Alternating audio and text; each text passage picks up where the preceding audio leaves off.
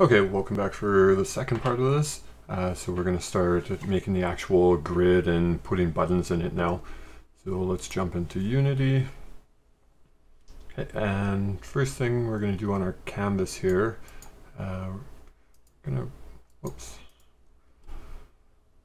we are going to make a button using TextMesh Pro. We just got to import it quick.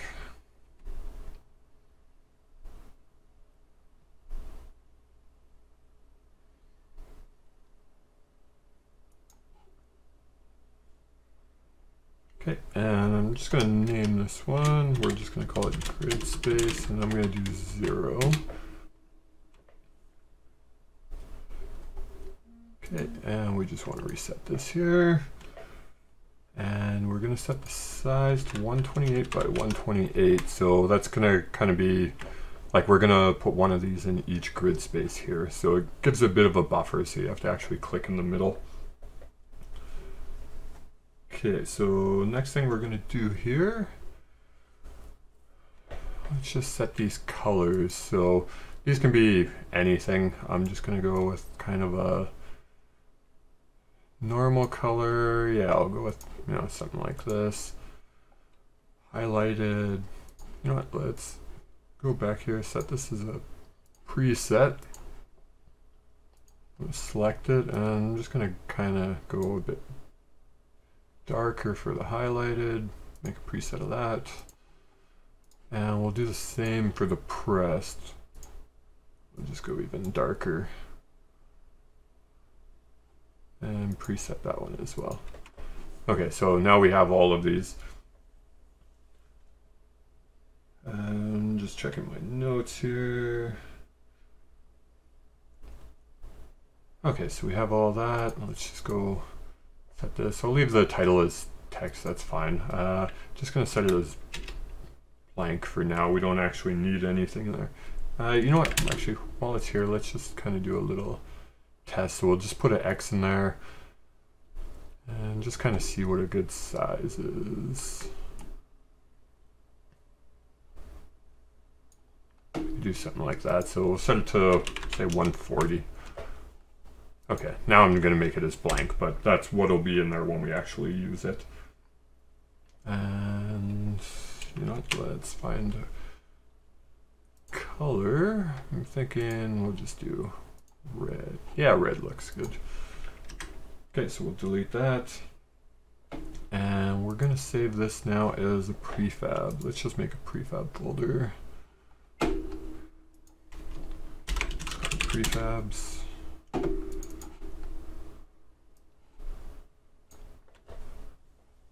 I guess we don't really need the, you know I'm gonna remove the zero off the name just for the sake of it, but in the scene we'll keep the zero so then we know which one is which.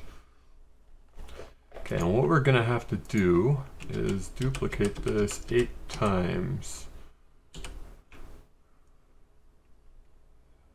That should be it. So yeah, so we have one for each spot. And we're just gonna need to actually move these. So what we're gonna do is the order of these is going to matter later the way we're doing it. So we're going to want to go start at 0 will be the top left corner. So it would be 0, 1, 2, 3, 4, 5, 6, 7, 8 in that order. That way we always know how to reference them. So for 0, we're just going to set the position and just following that guide from the other one, it already has them. They worked out the math on it. It's negative 170 and 170. Um, you could manually do it or just work out the math yourself. It, it's pretty straightforward. And we're just going to move each of these to all the other places. So now that we have one, it's pretty easy if we just use the, the move tool. It's actually going to use a bit of a snap and actually put them there. So we can just kind of, uh, oh, you know what, this one won't. As long as we set the Y properly, for the x, we can do 170, since everything's centered around 0. Okay, and now this one will snap. That one stays in the middle. This one will snap here. Let's go, this guy will snap there.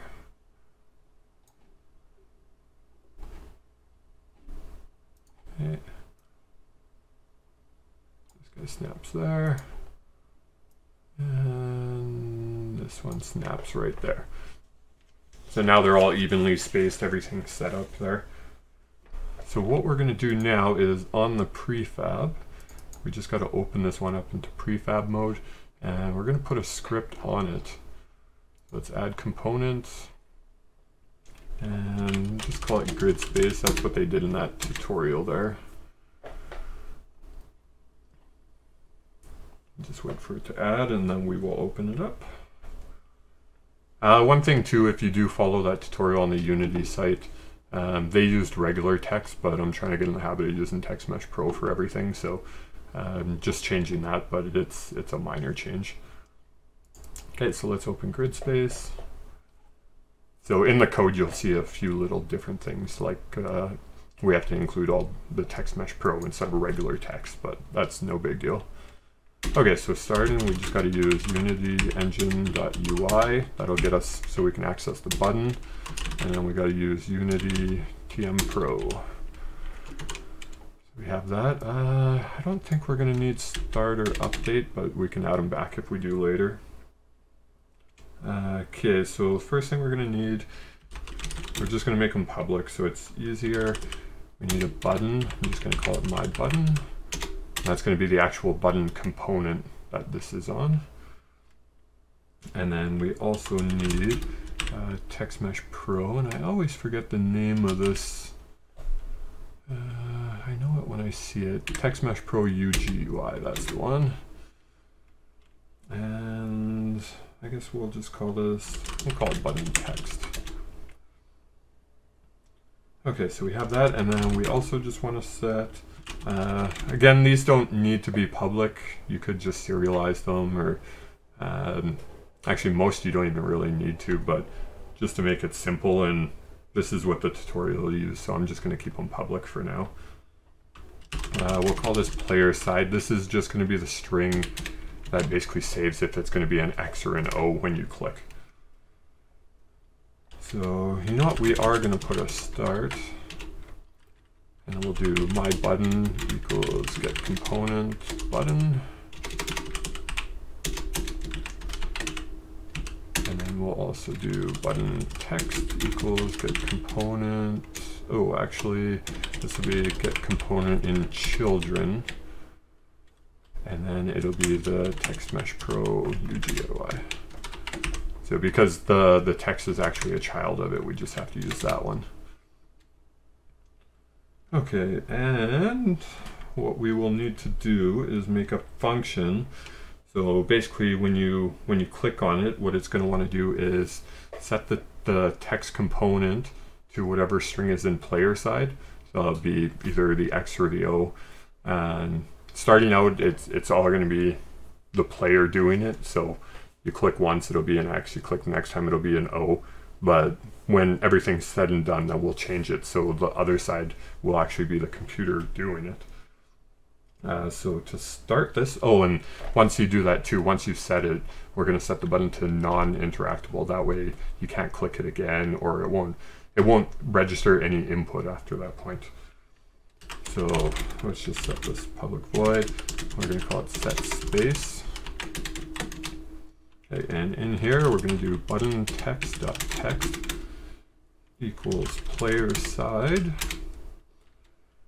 and then my button dot interactable is going to be false. Okay, and that just disables it. Um, so we don't actually have anything set in that yet. Um, so when we when we click, we're going to have to actually tell it to to run this, but for right now, uh, I'm just going to stop this video here. I'm going to try keeping them fairly short so they don't get really long each. But in the next one, we'll start actually putting the, the code so when you click. Okay, see you in the next video.